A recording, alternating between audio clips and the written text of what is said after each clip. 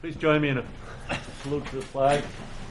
Pledge allegiance to the flag of the United States of America and to the republic for which it stands, one nation, under God, indivisible, with liberty and justice for all.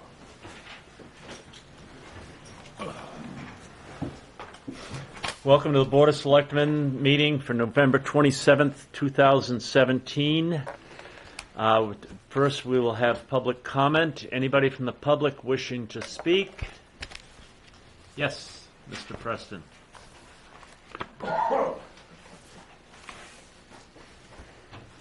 Good evening. Sorry about uh, my voice here a little bit. It's like an annual annual thing here. Um, I can always talk about flooding, and I can always uh, and I and I just happened to see under the manager's report, Expedia named Hampton Beach as the number five of the 16 most tourist-friendly cities in the United States. Well, that's something that's a matter of opinion, but we're not, we're not a city.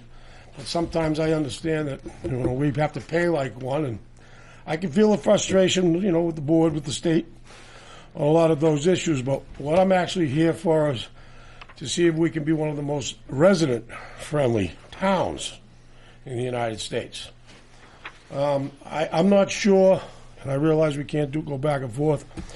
Um, I'm not sure if the town lot in front of the police station is closed for a reason. But yesterday at noon, the gates are closed, front and rear, and that was at noon.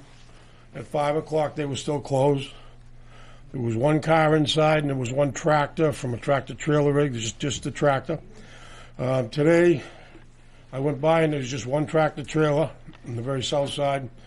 And tonight, there's uh, back to one car and a trailer, but the gates are locked. Excuse me, the gates aren't locked. The gates are closed, completely closed. I know when I came in a couple months ago, I'm trying to be proactive, and I realized, you know, this is a busy time of year for everybody, and there's never a good time for, you know, when we're talking about seasons and off seasons and plowing or whatever. But I did ask if there was a point person who to call when, when this happens. You know, I don't know if it's Diane or if it's the manager or if it's Public Works or whomever, but those gates should be open front and rear. And, and if the you know if the police say you know they need to close it for reason, great. If the fire chief says you know I understand that. If the guy plowing it needs to close it temporarily while he's plowing, that's those are all three good reasons. But I see no reason why that place is you know closed yesterday and today. I don't know if there is one. Um, I'd like to see those gates open all the time. Um, you know, we talk about the flooding. Nick, For people that don't know at home, and you got to you know repeat things over and over and over. You got the ten foot ties. They they say in the Wright Pierce report that flooding is an issue anytime we're over ten. And I and I made the statement that that's you know ten percent a year now, but it's actually you know it's it's actually more than that, but it's in the double digits. We're going to have six tides next week that are over 10 foot. So for those at home or anybody that doesn't know here, just get on Hampton Harbor Tides and look. Fortunately, when these tides hit, they're going to start Saturday. Fortunately, we're lucky these are all day tides. They're going to start at 9:30 on December. Um, well, this this Saturday, so that's December 2nd, I believe. Then we have Sunday, Monday, Tuesday, Wednesday, Thursday. But the tides on Sunday, Monday, Tuesday, and Wednesday are all 10.5, 10.7, 10.8, 10.6. I know you've allowed, pl- you know, for people to park in that lot for flooding, but, you know, the gate's got to be open. It's a day tide, so we're lucky on that. When they happen in the middle of the night, it's a bigger problem because people forget. And then all of a sudden it's too late, you know? So I, I just like to, you know, let's let's get on top of this. And, and the other thing, which you know, I realize you're busy, got a lot of other things going on. And last week, Jim, you mentioned it that you were going to bring it up, and I realized you did the week before. And I don't know if you talked before the meeting about it, but um, I, I didn't see it come up. And another thing that I said was, there's no reason, and I think Rusty at one point agreed with me. There's no reason that our policy should make people be out of there at seven in the morning. You know, it it can be it can be noontime, whatever. But that's that's just a little more reasonable. But you know, when you when you read about this story about the tourist-friendly city, that's opinion. You know, I like to do facts, not alternative sets of facts. You know, I- I'm getting tired of the rigmarole. I appreciate your frustration with the state, but once upon a time, I was, I can understand that, you know, you as officials have been attacked sometime from the private sector about some issues with the state. Once upon a time, I was attacked as a citizen by officials for going after the state. But we accomplished what we were trying to do. Took a long time, a lot longer than it should, but we're doing really good, and I would appreciate your attention. Thank you very much, Mr. Chair. Thank you, Charlie. Thank you to the board. Anybody else, uh, public comment? Seeing none, we will go to announcements and community calendar. Regina? Just hope everyone had a happy Thanksgiving, and we have a famous uh, Hampton Christmas parade this Saturday. Rusty? Yeah, I was going to remind everybody of the parade. Starts at 1 o'clock at the Northampton Town Line, comes down through. Uh, I believe downtown is closing up the, the closing the street about noontime, uh, maybe 12:30. Um, there'll be music at Morelli Square starting about 12:30. So if people are downtown early and they want to hear some Christmas music, I know the uh, I believe the chamber singers are there and a, and a couple other uh, groups. And don't forget the tree lighting on um, Friday night. Right. It originally looked like it was going to rain, but it looks like that, that's all going to pass early, and uh, that starts about six o'clock till about eight o'clock. And uh, there's going to be refreshments down there. Uh, everybody be enjoying it. Uh, it's a it's a great time, great event, and reminder to the selectmen that they are still invited to march in the parade if they want to. So if they do, just kind of let me know if you're going to be there. Rick? Yeah, are they going to have the sleigh ride this year that they The always had? the hayride, Hay ride, I, yeah, but I believe it's with a tractor this year. the tractor. Yes. Okay. Um, so I hope everyone has a good time. There's lo- lots going on. Bill? Thank you, Mr. Chairman. I have nothing. Uh, I would like to just reiterate what Ru- Rusty said about the parade and the tree lighting. The tree lighting is really a, a, a nice community event. Uh, the last few years, there have been a lot of people there. It's really been crowded. It, it's been a really nice event. So please get out and support both the tree lighting and the parade. Okay, consent agenda. Veteran credits, donation to Welfare Department from Hampton Free Medical Clinic for nine thousand seventy-seven dollars and fifty-two cents. Appointment Hampton Beach Area Commission Nancy Stiles. So moved. Second. All in favor? Opposed? It's unanimous. Thank you. Uh, Appointments, Mary Louise Woolsey, uh, A, flooding issues. Good evening. Good evening, ladies and gentlemen. Thank you for allowing me to have an appointment with you. Um, I notice flooding is getting everybody's attention. Um, I noticed in the Hampton Union today, there are pictures of the tides and, and uh, king tide photo contest. Um, my concern, because I don't live in an immediate flooding area, is the drainage. And it looks like that task is going to fall on the shoulders of the Public Works Director. Um, Mr. Griffin can say what help the state is with the drainage on Route 1A before your house floats away. And uh, so I don't know what kind of coordination there might be between the state and the Public Works Director.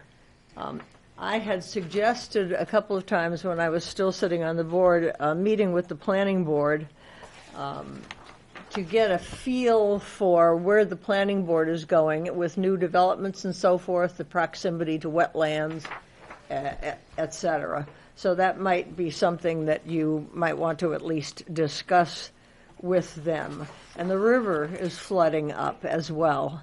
I'm sure that's accounting for a lot of the sand that you've been talking about. Uh, the higher the ocean goes, the higher the river's going to go, and you may end up by having issues with Hampton Falls side of the river and the Hampton side of the river. Uh, not tomorrow, but in the coming years. Um, I've been thinking about the drainage problem and the um, public works. And I think that there are some things that you need to take a look at and, and seriously consider.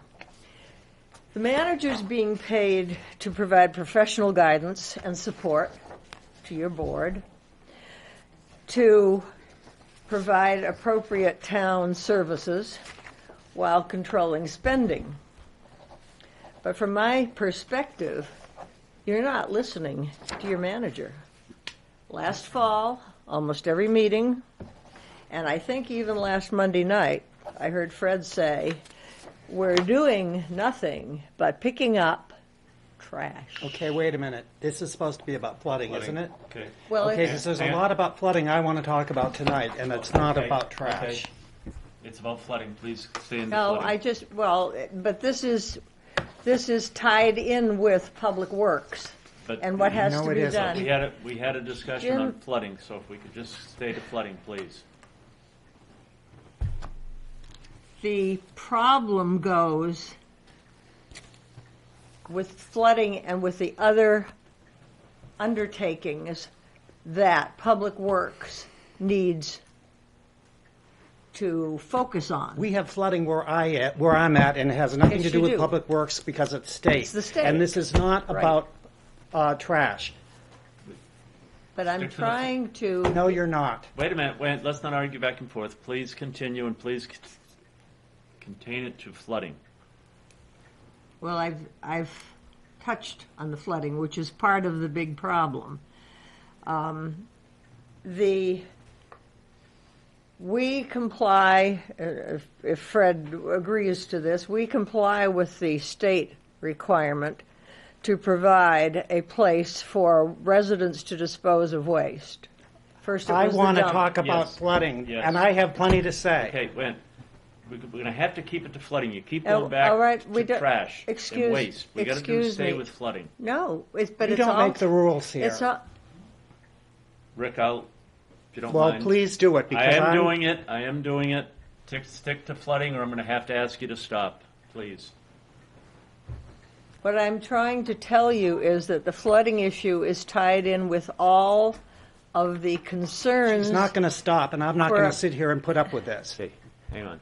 in the Public Works Department. You Right, have do you a have anything big- else to say about flooding? You, it's part But of the do problem. you, do you have But any, there's more, Spot. there's me, more excuse than me. that. anything specifically about flooding? If it's specifically about flooding, we will discuss it. We're not going to get into the the Public Works Department necessarily. We will deal with flooding. So please, All right, then let me ask you to put me on your agenda next Monday night for Public Works. I'll take it under Because there consideration. are, because there are other problems, Okay.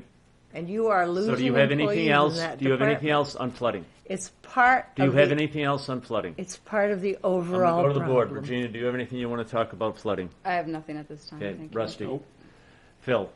Uh, I'm deferring to Selectman Griffin. Okay. Yeah, I definitely want to talk about flooding, but I think I'll wait until we talk about the warrant articles because it's to my, I'm of the opinion that the way the warrant articles have been talked about is completely wrong. Okay. So, So we we'll have do- a lot to talk about Okay. about flooding, but not about. Thank you very much for your concern.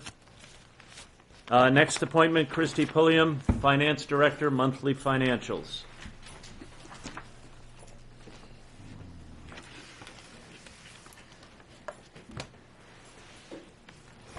Good evening.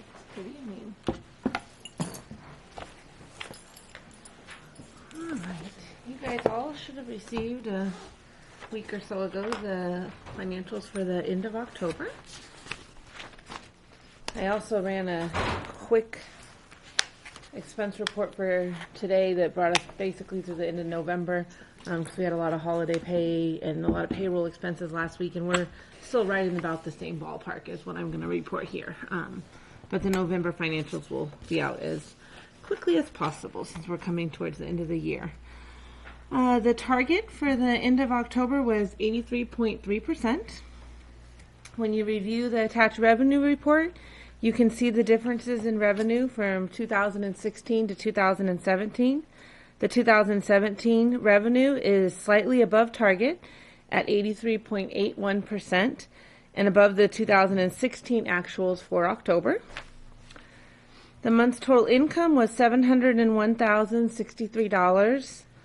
Of that total, motor vehicles came in at 296,977, which is under the month's target by $1,631.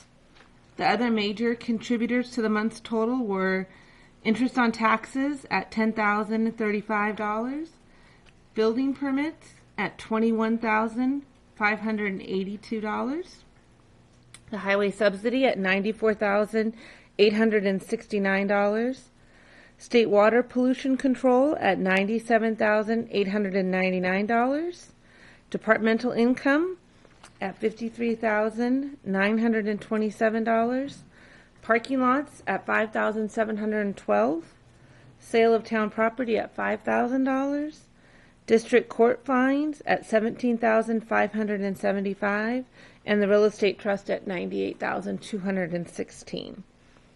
On the expense side of things, you will find that we are under budget by $576,275, or 2.33%. In October of 2016, year-to-date expenses were 1,092,364 um, under budget that year. Let's see. Then this month, I'm just going to run through and tell you where every department stands, just like I did last year or last month. Uh, town manager section is at 83.09. Town clerk is at 79.3. The finance department is at 80.84. The tax collector is at 78.03%. Assessing is at 53.95%. The MIS is at 77.32%. Legal is at 140.57%. Planning is at 76.82%. Zoning is at 68.92%. Cemetery is at 81.26 and parking administration is at 95.29. Takes care of general government. The police department is at 80% when you include their open purchase orders. Fire department is at 75.2% including open purchase orders. The building department is at 72.29%. Public Works is at 82.1 including open purchase orders. Welfare is at 61.63%. Parks and Recreation is at 82.8%. Library is at 86.94%. Conservation is at 77.81%. Um, the other funds besides the general fund, Fund 24, which is the recreation fund, has a balance of 153,783, which includes the beach sticker donations of 19,874 and scholarships of uh, $15,301 being awarded just this year. Fund 25, the cable committee has a balance of 392,272. Fund 26's private detail has a balance of 146,352 and Fund 27 EMS has a balance of 619,502. Some expenses that we know that are coming up for these funds, um, the board approved, I think it was a couple weeks back, uh, 37 or 38,000 going to the uh, Channel 13 at the school. So that still has to come out of um, Fund 25. Private detail, I believe they're still waiting for a cruiser to be delivered, which is coming from that fund. And the EMS fund, I think they just opened ambulance bids uh, a week or two, but so, a week or two ago. Um, so those are expenditures that will be coming up out of those funds. The wastewater system development charge fees collected in 2017 total 114,768 with a balance in this account of 191,756. The board has approved a total of 48,722 expenditures which will be expended from this fund. So that would bring the balance down to $143,034 in that fund. And that sums up the October financials. Regina, thank you. So, I'm sorry, you just said for the public, for the detail fund and the EMS fund, there is still, I believe that I believe that there. I had to check on the cruiser because I know there's a cruiser coming out of there or a portion of a cruiser, and I don't believe that that has been paid yet out of that fund prior to these financials. It may have been paid in November, and I know that the um, fire department just opened ambulance bids because I actually helped them when uh, Fred was at NHMA. So that was like what two weeks ago, a week ago, A Week ago. a week ago, and so they just opened those bids, and those are usually almost. I can't remember what the bids were, but I think those usually run about one hundred seventy-five thousand to two hundred for the ambulances, somewhere in that ballpark. So um, those are expenditures that will be coming from those funds in the Okay. future. So all right, great, no, thank you, Christy. great report, thanks. Rusty? Christian, just on the, uh, the EMS fund, yes, that's not actual money we have in, that's, absolutely not. and that's what I want people to know, is that's all payables or all receivables that we could have coming in. That's what's been billed out. Right, because we book, we do accrued accounting, so we book the revenue at the time of being invoiced. Right. So that all, we do not have six hundred and nineteen thousand dollars in cash sitting there. That is Right. accurate. I just want to make sure people know that, that it's, Yep. it's much less than that. Yep. So, yeah. Thank you. Good report. Rick? No, thank you. I, you did a good job as always. Thank you. Bill?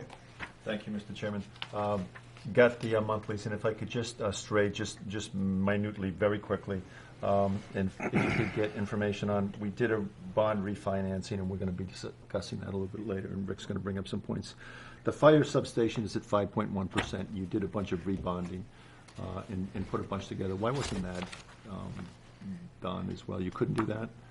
That one was that was project was started prior to me becoming the finance director. I was just here for the closing. I don't know why that. I don't. I think that bond was not in um, being paid back at the time that we refinanced. To be honest with you, Okay. Um, timing yeah- wise. Yeah, because it started in 2013, it's $5.1 million. The interest rate is five points. I know you rebonded, that might be something we, uh, we could uh, have a project on.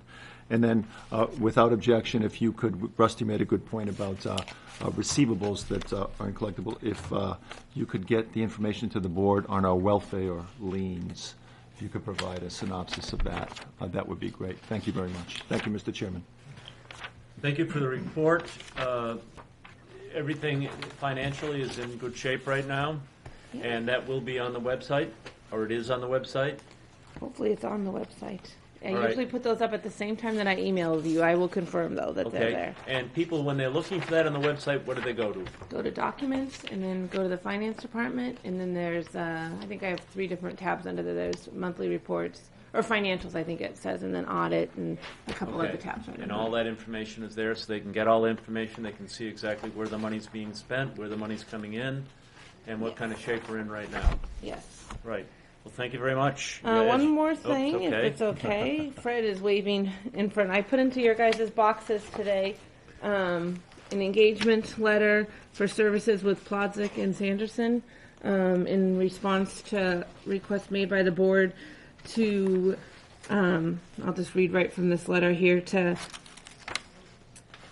under the direction, they will be available for, for consulting services that will include general consultation, evaluation of tax rate impact of various warrant articles, including impact on annual debt, service requirements, and projected impact on financial ratios for us. So I'm going to start working with Scott at Plodzik and Sanderson uh, next Monday, and hopefully we can wrap that up in just a few days worth of work uh, with him. So Fred has that letter um, to sign, and I believe it needs to be signed by the chair.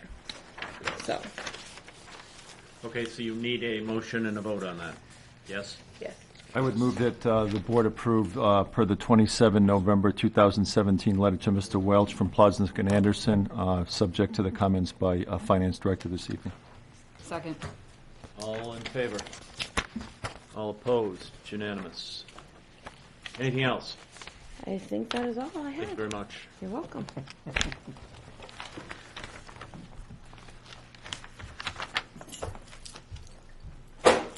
Um, Town manager, oh, no, I'm sorry, November 13th, 2017 minutes. I'll move those. Second.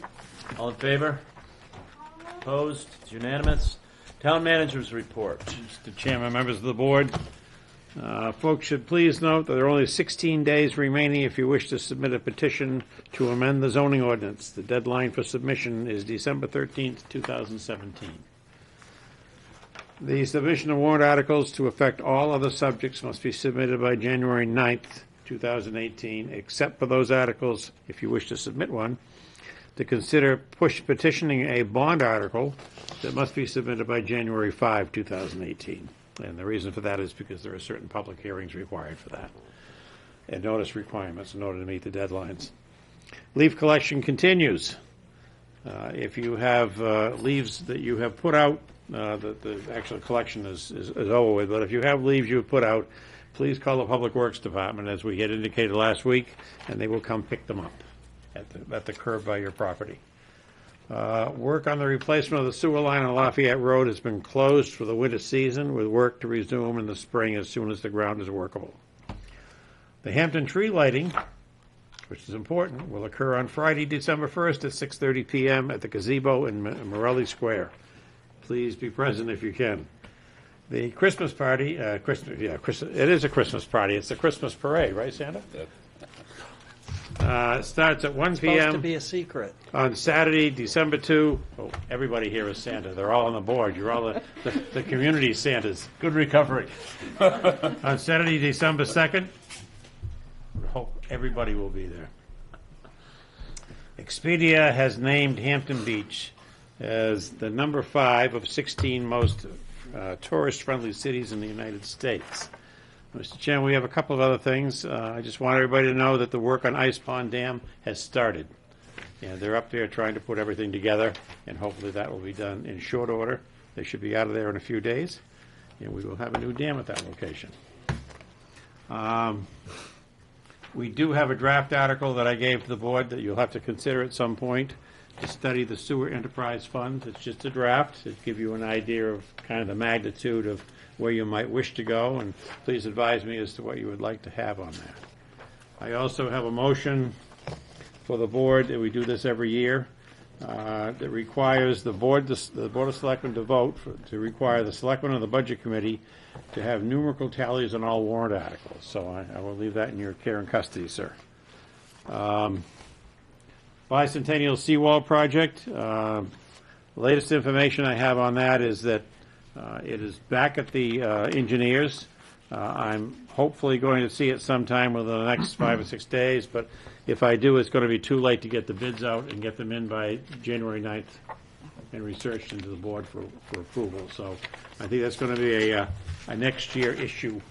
In the meantime, we've already, I've already notified Public Works to make sure that everything is done to make sure that that facility operates correctly and is sturdy, stay there, will need no repair during the course of the year.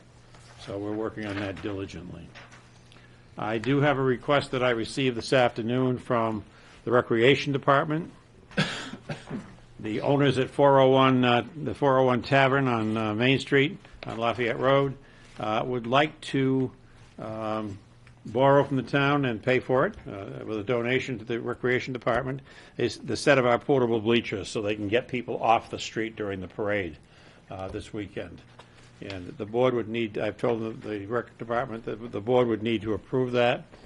It'll be set up, taken down in proper order and and restored. So if the board wishes to approve that, that's fine.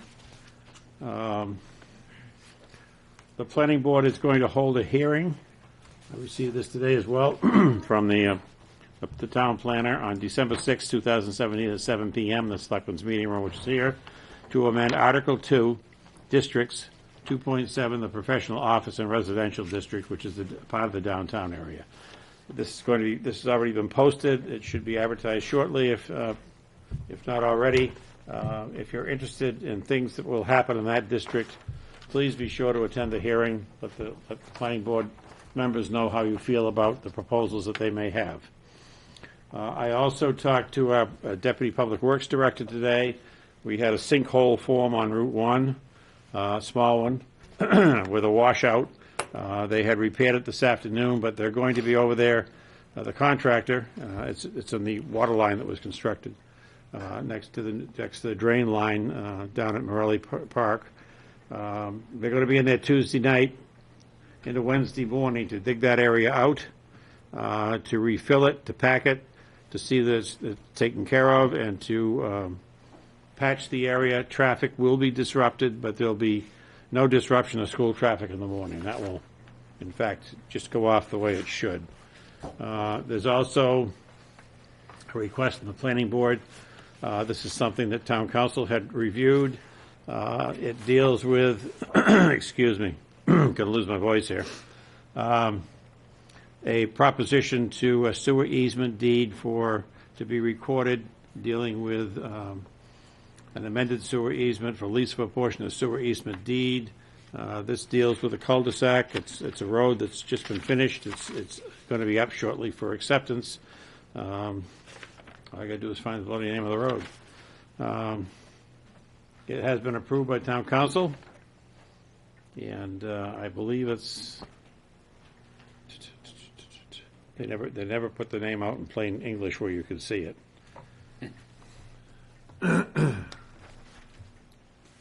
Robinson, uh, it was Robinson Drive. So, it's been renamed. Uh, But they, in order to record the deeds tomorrow, uh, the, pro- it's off of uh, 82 Woodland Road. In order to record the deeds tomorrow, this document needs to be signed by the Board of Selectmen because it, they, they had a new sewer easement on that particular property and it was approved by the planning board, but this needs to be signed in order for the easement and everything to be properly recorded in the registry of deeds. We don't need to take a vote on this, Uh, You do need to take a vote on it. okay? Absolutely, because you're recording an instrument. Okay. I'll make a motion that we sign for the easement. Is that what we're doing? Yes. I'll second. All in favor? Opposed? It's unanimous. Any other? Nope, I'm finished. So should That's we enough. do a motion on the motion to require, require selectmen and budget committee uh, numerical tally- tallies of all warrant articles? Yes, that would motion. require a motion to do that under the statute. Okay, So moved. Second? all in favor?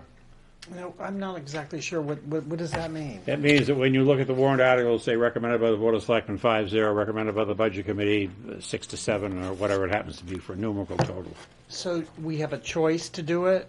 You have a choice by statute, because the town meeting has not voted to do it. It's up to the selectmen to, to either do this or not do it. In the last five years, you've been doing it.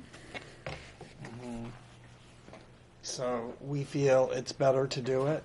Uh, That's, that's your choice. Find out I when don't. we vote. Okay. Any other discussion? All in favor? Opposed? Four to one. Uh, It carries. And the other one that we had to make a motion on was the use of the bleachers. Yes, I'll sir. make that motion. I'll second it. All in favor? Opposed? It's unanimous. Okay, now questions for the town manager? As far as um, what Charlie, Mr. Preston said about the lot, is there a reason why we can't have it open all the time? I thought it was open. Okay. I'm not aware of any, the fact that All right. anybody's locked it up and closed it. It should not be closed because we have people who use it for parking for uh, high tides, Right, okay. ten-foot tides or So more. just make sure that it's open? Yeah, I have no idea why somebody locked it, Okay. Great. but I'll Thanks. find out. Yes. Rusty? Yes, uh, go along with the uh, tree lighting and, and stuff. Uh, I was asked if we could get permission. Um, the old salt is going to be at the tree lighting doing. Uh, they're going to be roasting ch- chestnuts, and they want to have a. They have a, a raised fire pit with a screen cover on the top of it, but it will be on town property. So pending uh, fire fire prevention's approval, Right. should we get permission from us, or do we just need a I, consensus? I would think that you would get permission from the board, so there'd be no question. I'll make a motion that we allow the old salt pending approval of the fire prevention officer to, to have a, a open fire permit. Second. All in favor? It's unanimous. Chestnuts by the fire. Chestnuts roasting by the open fire. Anybody, uh, Rick, for the town manager? Um, okay, so it's not, I'm in favor of the, you know, people using the lot too, but I thought we made it so that they were only supposed to use it during the high tide. During high tides or during storms, one of the two. So that should be open anytime there is a high tide, a tide above 10, 10 or above. uh, and it should be if we have a storm forecast. And there should be only people in there that have permits. Have permits for it, for the, So- for the parking for tides. Right, so they Anybody can park there during a storm. Yeah. So, We generally leave it open. so what happens if some Joe Schmo that's not, uh, just wants to park their car there for a month? What Well, happens? If someone parks their car there, we make a notation, I certainly make a notation every time I go by who's there. Mm-hmm. Uh, And if I see a car there repeatedly there, I will take the license plate number down, or refer it to the police department to find out who it is and contact the person and ask them to remove it. So Because people, that's not fair to anybody else. yeah, they're not supposed to be using it overnight. No, It's they're not for storage. No, it's not for storage of your vehicle. Overnight parking. So it's for use like during the daytime. It's for use when a height, the tide is 10 or higher, which could be day or night. Okay, ten percent of the time, like you said. Uh, Well, it's, it's actually, I counted them. There are 49 instances during the calendar year where that, that could, that could happen that are not storm-related. So you could have an un- undetermined number because you've got storms involved. Uh, As far as any other p- uh, vehicle that be parked in there, only during a declared snow emergency. That's the only other time, unless the lot's open for paid use. Those, those are under your regulations. Mm-hmm. So I understand that, so I don't see how you can just, if you have a reason, you know, what, what it's supposed to be, do you have a sign up there that says that? No, they haven't put the sign up yet, but there will be one up there. I've told them to do that. So we make sure that people know exactly what's going on. It does help if you actually tell them what's occurring. Mm-hmm. So, And just on, if- if I may, on, on Rick's theme on this here, uh, our snow ban is all winter, right? it runs until the winter snow season is over. Right. Yeah. So can people park there at night if, instead of parking on the street, which I think they should be allowed to do? Well, they can't park on the street at night anyhow, between one and seven. Right, so they need to have someplace to park, and I think that's what, um, Mr. Preston is Well, getting if the at. board wants to change the regulation, then anybody can park there between one and seven. That's the Whether point there's what I'm making. We snow have these emergency or not, regulations, that's- this is all not making sense. Right, I think that's what you were getting at, that's why I wanted to. I'm not against it, but I mean, why have the regulation and say that we're not supposed to do it, we're only supposed to do it during high tide, when it can be all the time? Yeah. I mean, I'm sure the police have uh, ideas about, we know what's happening in some of the other parking lots. We don't want to Oh, yeah. have, we don't want to have So, I stored mean, there are vehicles. issues.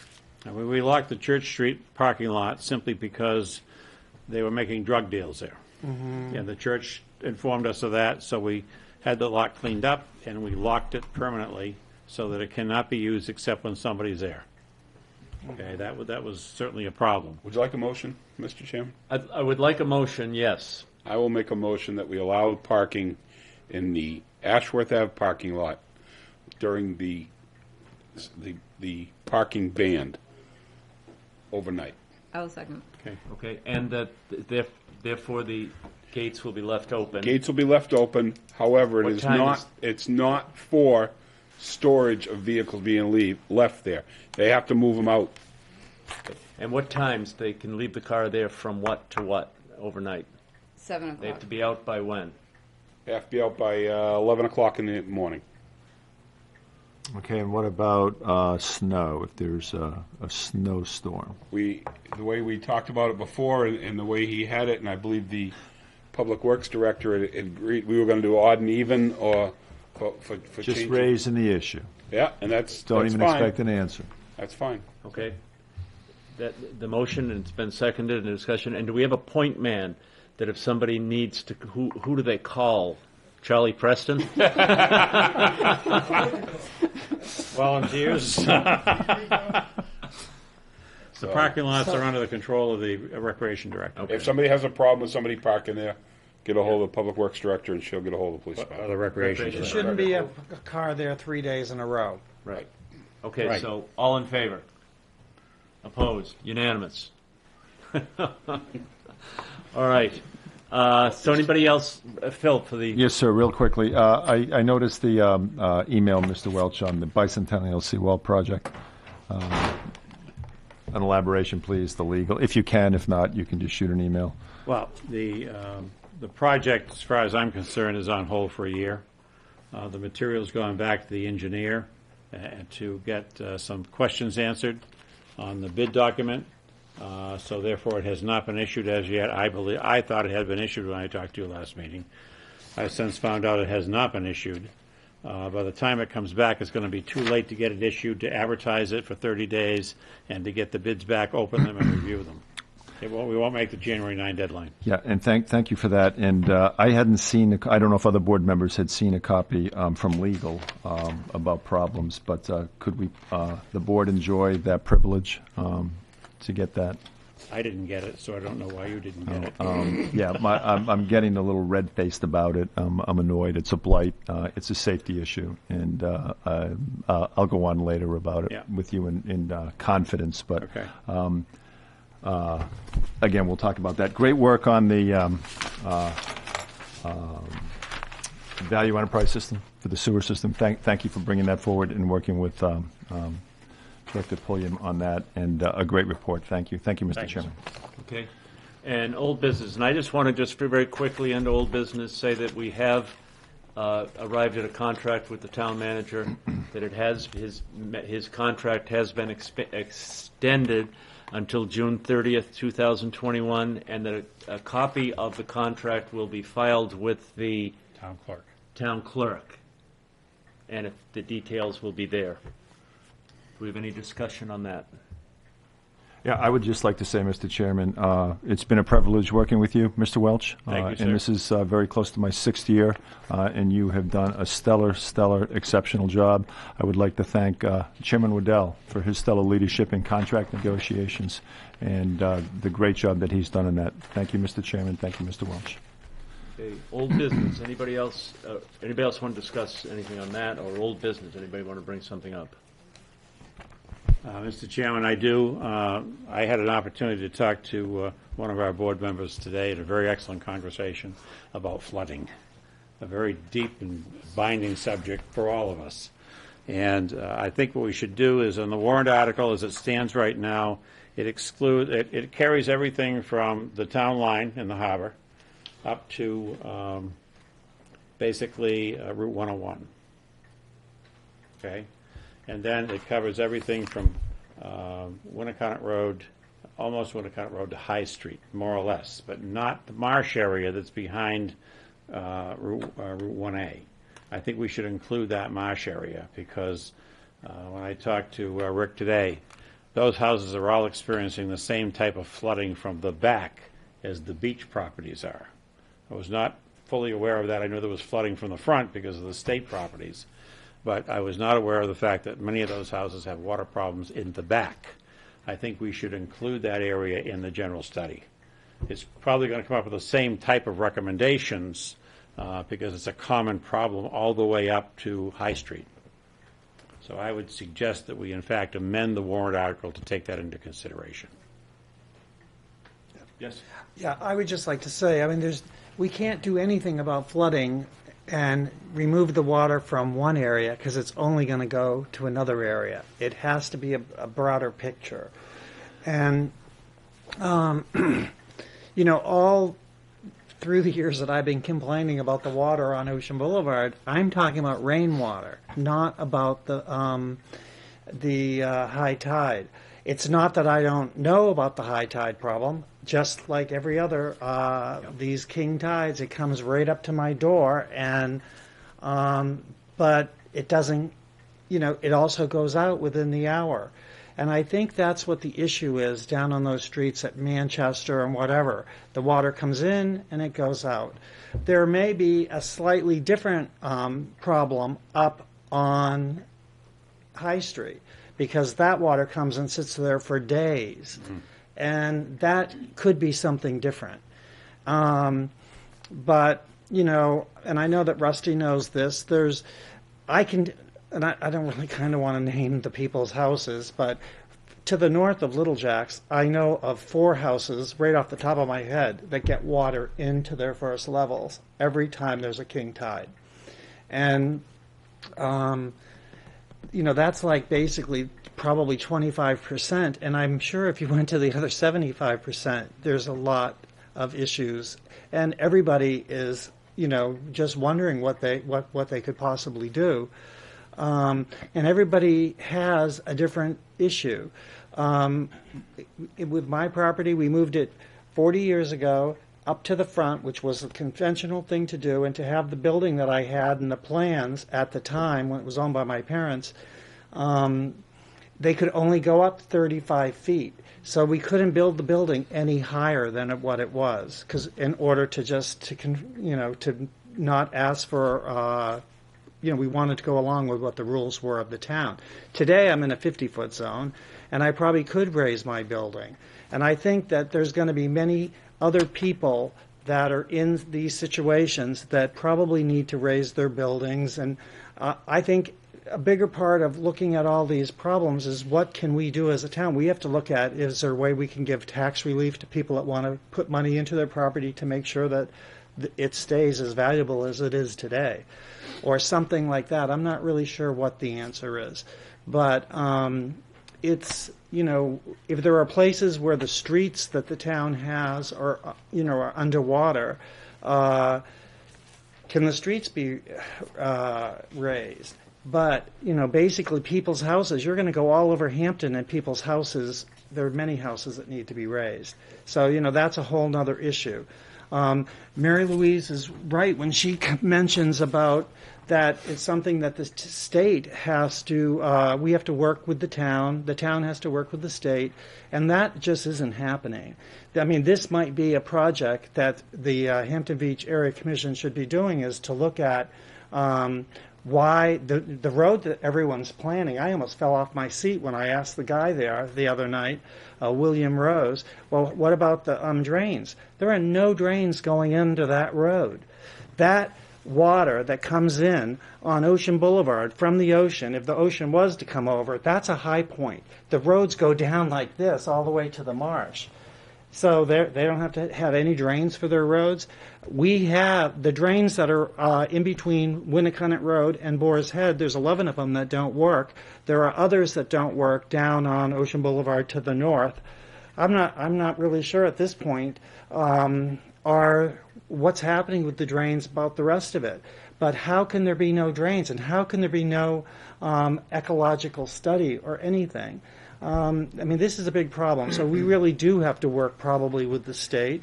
And uh, if the state is going to have to put in more drains, maybe the town's going to have to put more drains. Are there drains on Manchester Street and uh, Norton or whatever the other one is there? My guess is there aren't any. Are there? There are a few.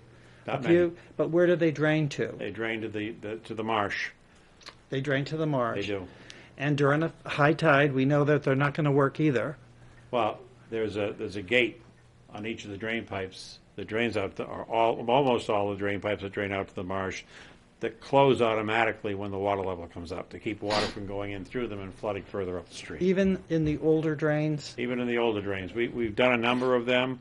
There are some the state will not give us permits to do. It's just like the state told us they will not give us new permits uh, f- when they rebuild Route 1A. Uh, that supposedly, I've been told there are going to be drain systems put in that will be connected to our drain systems, but they will not because our systems are already sized for the load they take. Uh, they will not put valves at the end of those systems, and they, we will not be allowed to put larger systems in to accommodate the flow. Just So- the way the state's ruled. Perhaps this is a good time when we're talking about the uh, wastewater treatment center, you know, and it all kind of goes together. But this is a bigger issue, so it, it should be an issue that's all of Hampton. You can't pump water from one spot and not expect it to go somewhere else, and pretty much that's what's happened. There's been added construction all over the marsh for all these years. Then you add that to global warming, and it, you know, it's a Well, you've not a got- good situation. You've got the double whammy because now the, the uh, Army Corps of Engineers is, is uh, building a seawall behind the properties in Salisbury, causing additional displacement, which is going to come over here and raise the water levels here. yeah. Water's got to go someplace. And then I don't know, and I couldn't tell you for sure, but I mean, I raised the question here one night. You know, is there because of the mo- the uh, harbor is so clogged up? Is that displacing water also? I Yes, mean, it is. So there's a lot of issues here, but it's not just that one area around Manchester Street and the one area around High Street. It's all of it. So what do you, what do you, uh, are you making a motion to expand that warrant article, or what are we? Well, yeah, Okay, we have yes. to reword it, make sure it's right, because. Reword that, we'll bring it back to the board for your review. Okay, and, and consideration.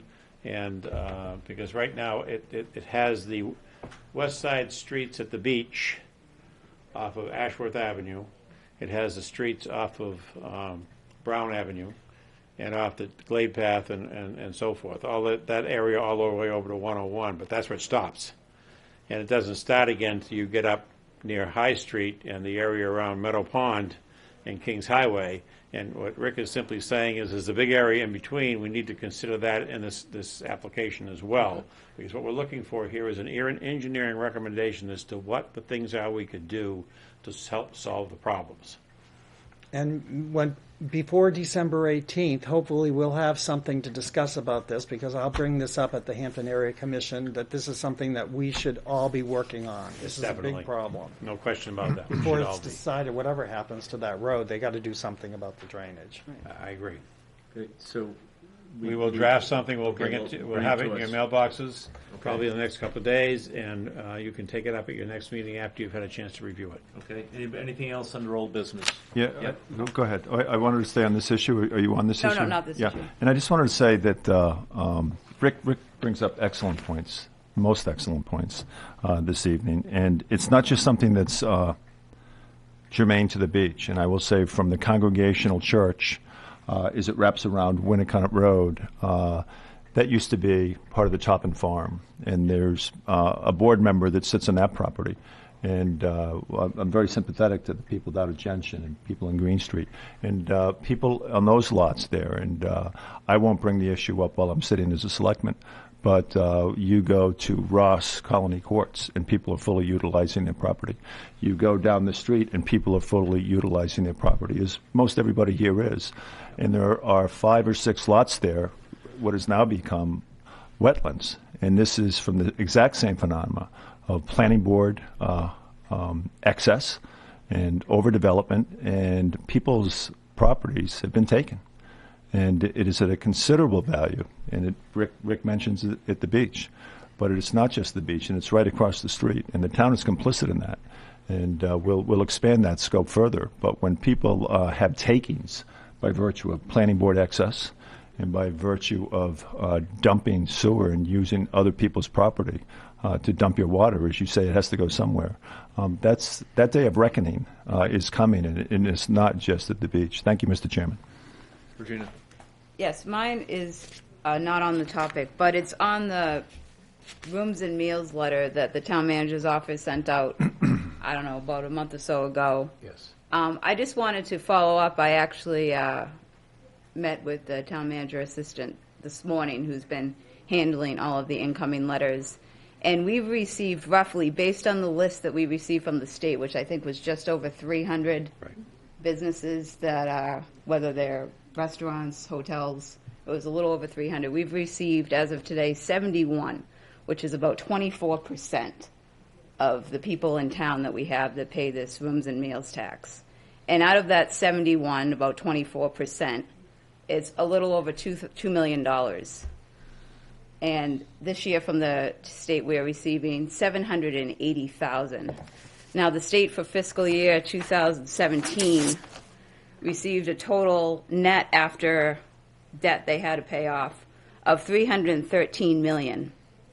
And they voted for the next, the two bienniums, which are 18 and 19, I believe, or 17 and 18, to give back to the cities and towns 68 million total for the whole state. So, so far, I just want to point out, 24%, we are taking letters whenever business owners can get along around to doing it. Ignore the deadline. If the Christina receives a letter, she will process it. 24% of the list that we receive from the state have come back to us. It's over $2 million, and it's, um, we get 780,000. So I don't know if you can put that into perspective, but that's just 24%, and we're already over 2 million. And we're budgeted to get about 778,000 back this year. So I just wanted to encourage anyone, if they haven't got around to do it and they are willing to do it, please do it and submit it back to the town manager's office. Thank you. One other quick thing. Yep. We, we talked last week about the, the ladder truck. Have you, have you talked to the fire chief yet about? I did talk to him briefly. Uh, We haven't come to any conclusions as of yet, but we need to get that done. There's no question about the ladder truck. We need to have that fixed. Uh, It's our intention to come back with a list to the board.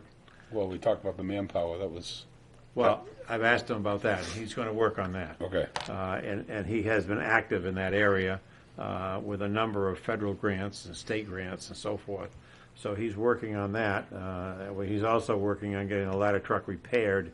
And one of the things that we want to do is at the end of this coming month, we want to bring back a list of items to the board that need to be, shall we ta- say, taken care of as deficiencies in departments, and if there are funds available in the budget at the end of the, at the end of the year, as opposed to putting warrant articles in, we need to fix those items now.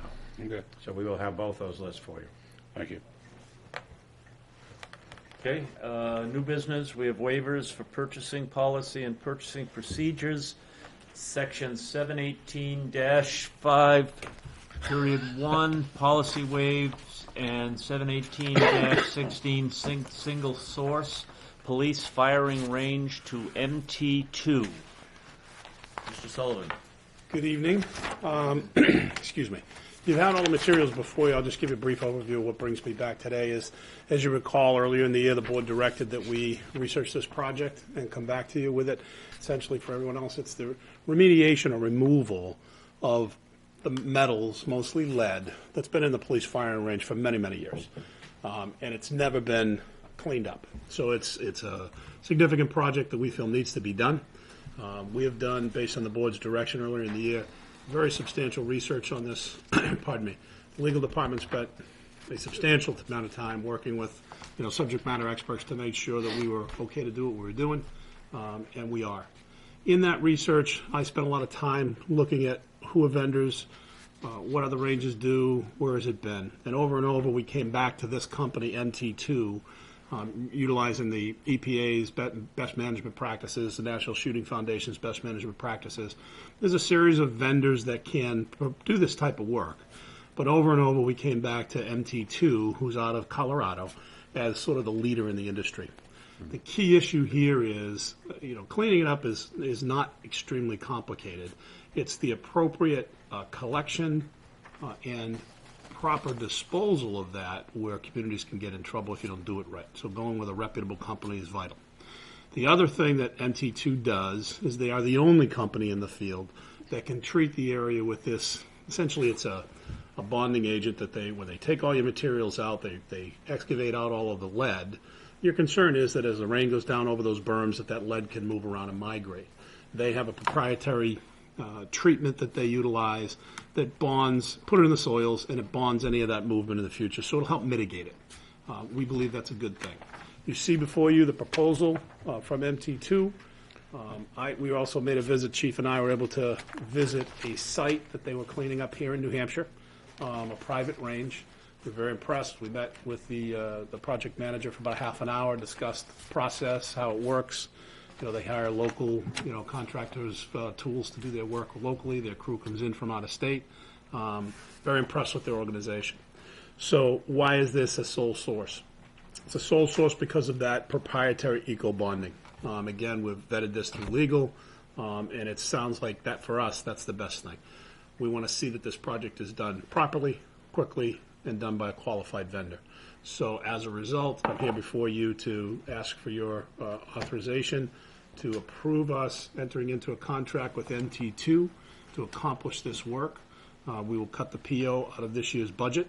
Um, As you see, the maximum charge will be $36,000. Um, There will be some um, lessening of that number depending on the value of the metals that are removed. We obviously don't know the exact value. It's estimated to be anywhere from 1,800 to 3,600 off of that number, uh, but we'll know that at the end of the project based on what they mine out of there. We've tried to make some estimates ourselves of how many rounds we think are in there over the years, and you know our head spins a little bit based on the number you know, over. It's close to 40 years of active shooting in there. Um, what's good of the project, uh, we'll schedule a time so it will not impact the training, um, and we'll be able to make some of the improvements there that we need to do and clean up the area. Happy to answer any questions. Regina? So, 40 years of shooting, and then how long will it take them to do it? A couple, three days. So what they've, what, the- talking to the project manager, was very interesting is what they, they mine out about three feet or so based on the berm size. That's their experience is how far the projectile- projectiles travel through that and get trapped in the sand. It's really not much deeper than that. Um, You know, ours, we- we're, we're kind of surprised doing some research on the construction of the range. Uh, There are some things in that berm underneath there that I think are surprising. Hopefully, we won't get to those, but uh, we talked to some folks who were uh, on the PD at the time the range was constructed in the 70s, and, you know, there's a report of a boat being underneath there someplace. So uh, I- I- hopefully, we'll, we'll excavate out what we need to without dealing with that, and then restore the berm um, deeper, stronger, and better than it is currently. Great, thank you. I think it's long overdue. I think uh, they've been they've uh, they've been shooting down there on borrowed time. I think uh, it's time we clean that area up. It's right next to the marsh, and I think that's uh, uh, as I said, long overdue. I think proactive is a very, very good thing for us. Absolutely. Yeah, I totally agree that it's overdue. Thank you. Bill? Yes, thank you, Mr. Chairman. Thanks for the great work on it. A couple of quick questions, please. Uh, On the website now, have researched it today, uh, an extraordinary company that you've contracted with. uh, They do all of the uh, law enforcement, military, uh, et cetera, et cetera, et cetera. Um, The contract uh, states um, they're going to remove three to six tons of lead. That's great. There's different options that are in here. Um,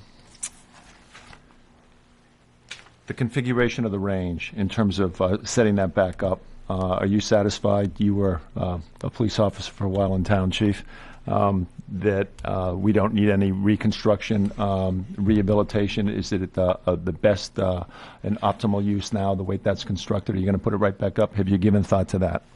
We have, and I will stay in my lane on this. I work with uh, the chief and the deputy currently to be sure it meets their needs. What we intend to do is uh, enhance the side berms.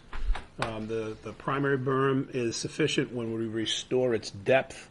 Um, The height is sufficient by best management practices at 20 feet, but we'll ensure that that's appropriate. But we do like the idea of extending it back on the footprint, but extending the sides back deeper to make it, to make it safer. Got it. Uh, Thank you. Um, They have uh, two options. Uh, On page two, they talk about, and we can talk about that in a second. Um, They've got an optional environmental uh, stewardship, stewardship plan. Uh, We're talking tons and tons of lead. We're talking, the police department plans to use this uh, uh, on and into eternity, perhaps. Uh, It's an existing range. This is a great remediation. Um, They have uh, an option to uh, provide that environmental stewardship program for $6,500 a year. Uh, At first blush, I think that's a very good investment. We've got uh, uh, civilian uh, quarters right near there. We do have the ocean. It is a marsh. It is wetlands. It is lead. It is a deadly uh, chemical uh, or element, and I would, I would like to incorporate that. Um, So if you can speak to that in a second. Um, And then it, uh, it's got renewals. Uh, To speak to, please, the uh, uh, continuing relationship with these folks. We've seen what's gone over at uh, the Hampton Rod and Gun Club. They've had challenges. We've seen what's going on with our own water. Uh, I think we should set the standard here when we're engaging in that, um, that, that capability.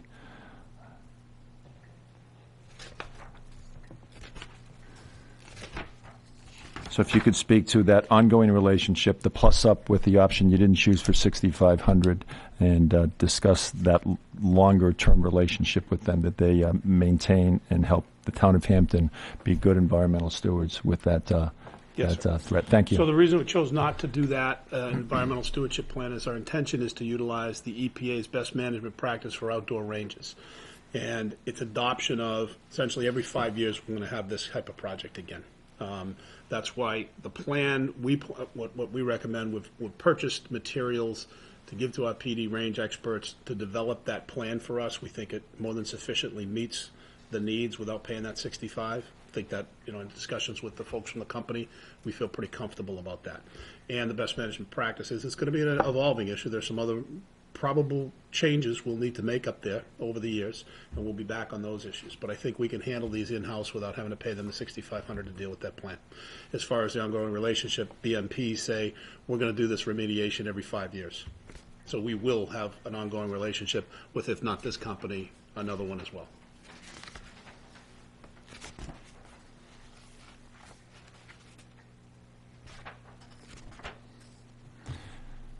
Got it. I don't have any questions. That, it was really great work, and that was a quick fix that you provided. Great solution, great leadership. Thank you. Thank you, Mr. Chairman. I have a question. Yes, sir. What's the cost to operate a range per year approximately? Do you know? I mean, what, what's the cost of ammunition? What's, To operate our range? yeah. Okay, um, yeah, I- I- that's a huge question depending on the type of range and what it is. But we are strictly a law enforcement range here, um, and we invest heavily in our training. Um, I, again, I, I'm going back to when I, I was chief off the top of my head, um, we would spend, you get training dollars and you have ammunition costs. Every year, we probably spend somewhere between twenty and thirty-five thousand on the various projectile ammunitions that are utilized, and they shoot optimally four times. Usually, it's three times per year. Doing some day shooting, night shooting. There's new officer training, and then there's the in-service training. So to give you a number off the top of my head, I, I, I'd hate to throw a dartboard without pulling it for you, but it's a substantial investment, and it's absolutely worth every penny as far as, as far as I would recommend. With, with new technology and stuff, there are a lot of companies, there are companies out there doing uh, use of force simulation, which doesn't use live ammunition. Has, has anybody? We absolutely do that. Um, What you're talking about is called simunitions, um, and essentially it's, um, our, our- our folks frankly are the, tra- some of the best trainers in the state. We go up, our firearms instructors and, and use of force instructors. So it- the question was the range is what I was staying on, but Yeah. the t- the town and police department has a robust use of force training program. And involved in that is decision-making, uh, utilizing simunitions, utilizing, you know, weapons transition based on scenario-based training. Uh, they have a very, very good program built down there. Hampton has always been a leader in their firearms and use of force, and I think they continue to do that now. So all of that's involved, Mr. Chairman. Super. Motion? I'll make a motion that we uh, sidestep the uh, bidding process and avoid, and award the amount of thirty-six thousand to MT2 um, as a single source provider for the fire range. Okay, how about if we change that to um, give a waiver rather than sidestep? Well, all right, that's I was going to fine. mention the same thing. Well, Give a If we waiver. would grant the waiver. Grant under- the as it waiver, said in yeah, the there you business, go. Under the purchasing policy and procedures. There you go. Seven eighteen. Okay, that sounds better. I'll second. Okay, all in favor? Thank you very Opposed? much. It's unanimous. Thank you very much. Okay, I wanted to bring up one thing while um, the deputy town manager was here, uh, un- also under new business or old business. Um, Wasn't there another person, I'm not sure if they were killed, but shot uh, in a hunt, you know, hunting accident on property, you know, like what we're talking about for uh, Town Forest. the town forest? I, I- you know, again, not in our area, but my understanding, I remember reading the news that there was uh, somebody injured. One was an, I I believe, a negligent discharge that, that shot someone in the foot, and another one was of a, a target identification issue, knowing, Yeah, knowing what pe- you shoot people at. shot and they Yeah, didn't know what they were yeah. shooting at. Exactly. Which seems to be the problem that we keep discussing about over there off of uh, Today, we, White's we Lane. circulated some information that'll be coming your way that legal's looking at. There was an article in the uh, Union Leader yesterday, or, yeah, I think it was yesterday that I saw, uh, that, you know, is, is an issue that's something we have to research further on that and give some more information to you before you make a final decision uh, with regard to whether or not we have the authority to restrict um, this activity. There's a, you know, an article that discussed other towns that have done it, and some believe it's in conflict with a state RSA. Um, So we're researching that for you, so you have more information. Yeah, 'cause this is a New Hampshire man shot dead accidentally during target practice. and then there was the other one that was misidentified, and that was only in Brentwood. I believe there was also someone shot in the foot based on a So a that's negligent three. discharge. Yeah, That was on this morning. Yeah. yeah, Any other, uh, no. okay, uh, nothing, thing- I want to make a motion to go into non-public under RSA ninety-one colon A dash, uh, three, n- uh, the dismissal, promotion, or compensation of any public employee, 91-A colon 3, uh, 2B, and 91-A colon 3, 2C. Second. All right, we'll have a roll call. Regina, Rusty, Phil, Aye. and Rick.